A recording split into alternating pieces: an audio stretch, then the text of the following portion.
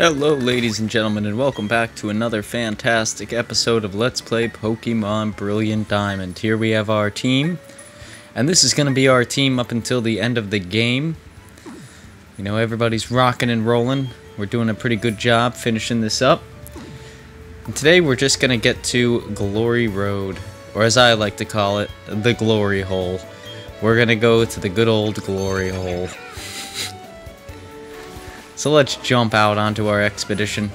I left in a, a double battle here. I don't I like the double battles. I think they're cool to watch. I think they're a lot of fun to participate in.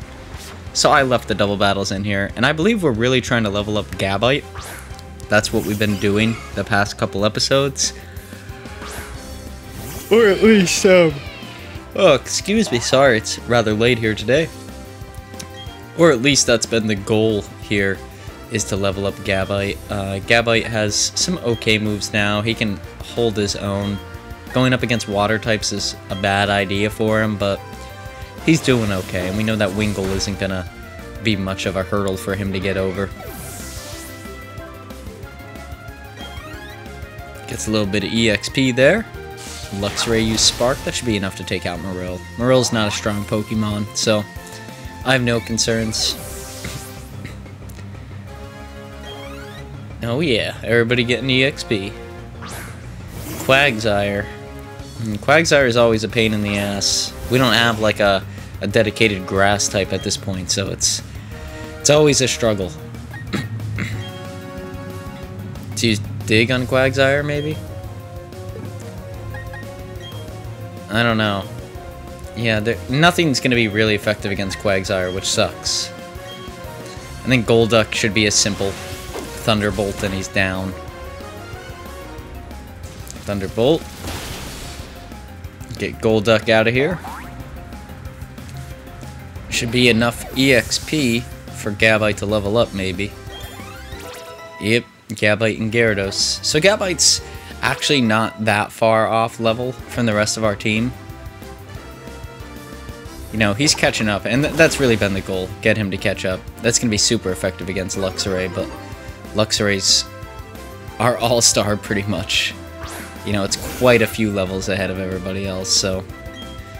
I think even at level 40, a Dragon Claw should be enough to take down Wingull. And then we should just use Crunch on Quagsire, that's the only thing that's going to be effective anyways, so... Thanks to the Quick Claw, can attack first. Oh, but Wingull did a quick attack, so... No hope there. And then Quagsire goes down. Yeah, there's nothing super effective about that move, but it's just the fact that Luxray was level 56, now level 57, so it's doing a lot more damage than it should be doing. Because these Pokemon are all like level 40s. And Togekiss levels up to level 55. and a Pelipper comes out. Um, yeah. It's Pelipper you know, his mouth is shaped like a big old toilet bowl. I think I've shared numerous times how I feel about him as a Pokemon. He's just nothing exciting. Just the usual BS. Dragon Claw doesn't kill him. That's because he has buff stats, because he is an evolved form of another Pokemon. But you can see as soon as we give him any sort of electrical attack, he's down for the count. You just can't compete. Done with my dreams. Inhale, exhale. Just got an ounce in the mail.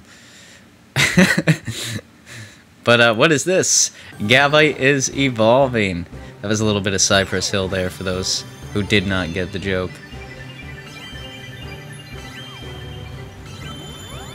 And now we have our pseudo-legend of the generation. Garchomp dragon ground typing.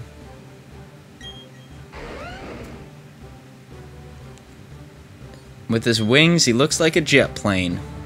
He wants to learn Crunch. Yes, Crunch is a solid move for him to know, at least at this point. 80 damage is pretty good. And it kind of covers some bases. What do I want to get rid of? I think I'll get rid of Dragon Breath. We only really need one strong dragon move. Because honestly, we're going to be outclassed from Gar uh, I forget her name, Cynthia's Garchomp. So he's going to move quicker than our Garchomp, so likely he's just going to take us out when we go to beat him anyways, so... It's not like we need the Dragon advantage. I'm kind of counting more on Gyarados for that. Then you can see here, we get into this other fight. I didn't know that I left this in. Uh, I guess I did just to show off Garchomp a little bit, just so you could see what he looks like, you know, standing out there, fighting. Tentacruel, which actually I was just looking at our Pokedex. Uh, Tentacool is one of the only Pokemon I have not seen in this generation, and I won't see him, because, well, to be quite honest, um, once I finish up with the game, if I don't see him by then, that's it. I'm not going to play any of the post-game here. Um, after I lost the ability to get the Legendary a few days back, my demeanor towards playing this game has been less than fun, so... But that was just to see Garchomp there. Let's shoot up to where we need to go. The good old Glory Hole. Need to visit it once a month. It's what the doctor recommends.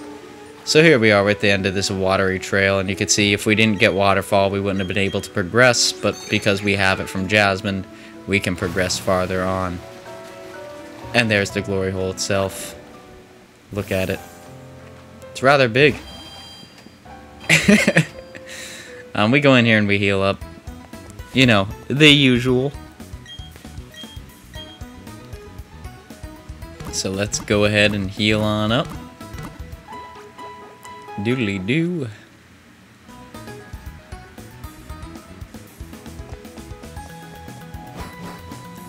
And now we're gonna go through the good old glory hole. How fun. I always love it in here. Never a headache at all. Victory road ahead.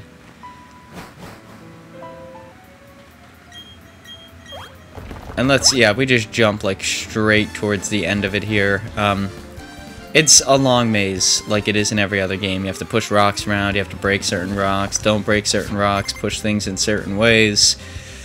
You know the drill if you've ever played any of these games. They stick to their formula and they stick to it well can see I'm still leveling up Garchomp, and Garchomp was like the man throughout this whole area. Like he could really handle anything that was coming at him. I switched in uh, Gyarados here and there to help out with some of the rock types. But even then, I mean, Garchomp with Dig has been able to handle like everything that's come its way.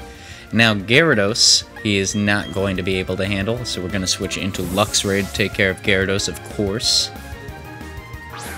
Let's go ahead, Luxray. Let's get it done.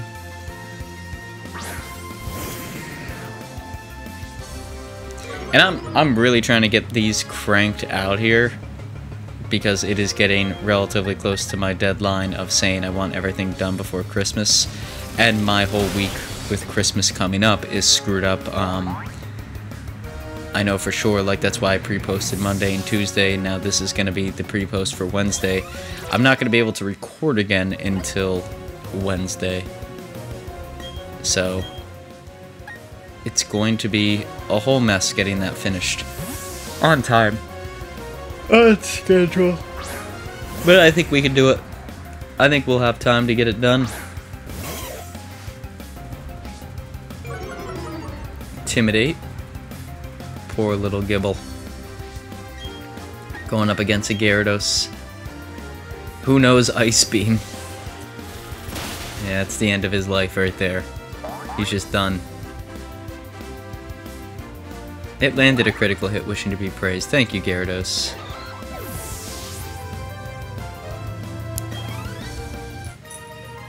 And that's the end of the Dragon Trainer there.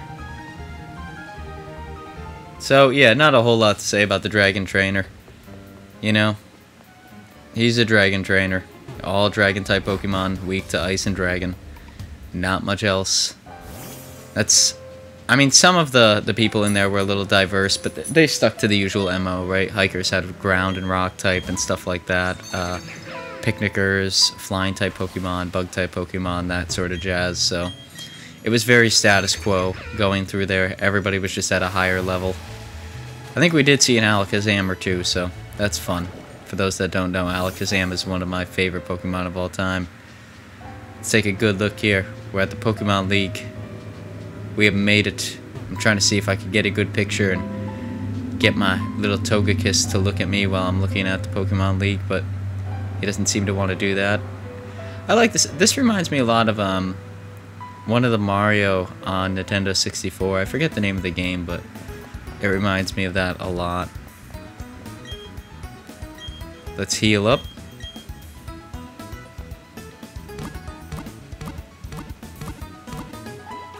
Do doodly do.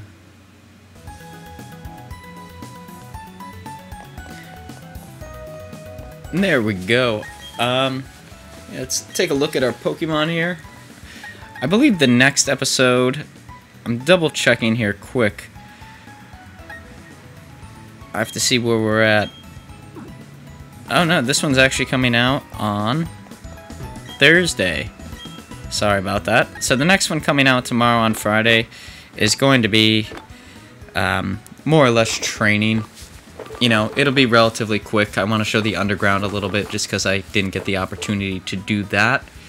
And then the following day will be the grand finale of all of this. Hopefully, as long as the Elite Four isn't as challenging as I've heard that it is. And then we'll have our tier list as usual following that. And then we'll be moving on to a new game. Because I don't want to spend any time on the post game here. I haven't had any luck catching legendary Pokemon. You know, maybe that will change in the final episode because we still have the three, uh, three legendary Pokemon that went back to their little caves on the lake friends. So maybe we'll get the opportunity to go and actually catch them and maybe that'll put me in a better mood to play some of the the actual post game with Legends of Arceus coming out. You know, I, th I think that's a big thing. I need to stay excited for Legends of Arceus and not lose all hope because this game has taken that away from me for the series. Um, I will say this game was a lot better than Ruby. At least it has been so far.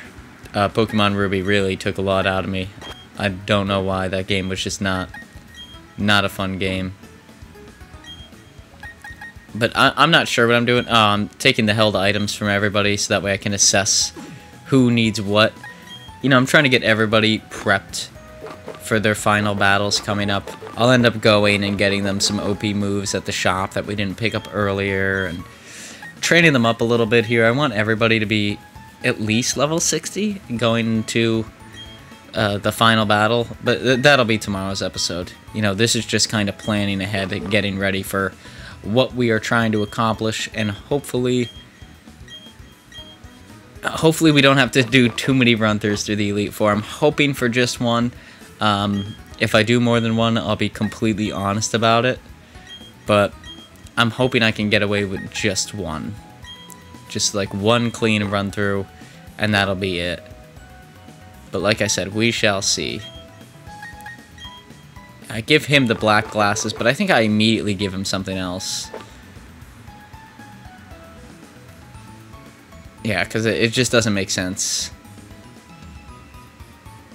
A metronome would be pretty useful on him, because he does just typically use flamethrower all the time.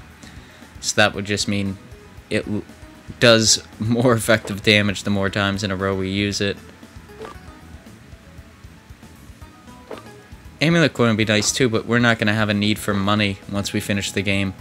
But I, I think that's legitimately going to be it, guys. Um, it's approaching the end here, so if you enjoyed this video, please consider leaving a like, comment, or even consider subscribing. It is free and relatively easy to do, but not going to force anybody to do anything they don't want to.